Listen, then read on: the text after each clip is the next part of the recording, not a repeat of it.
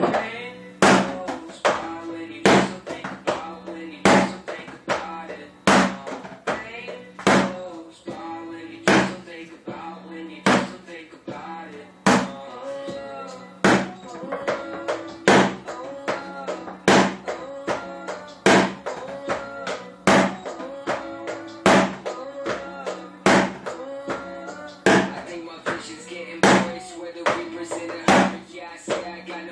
but me. I don't really know why. This I'm sick of this ride. Just one, so I can feel normal for one. Criticize my therapy in the gun.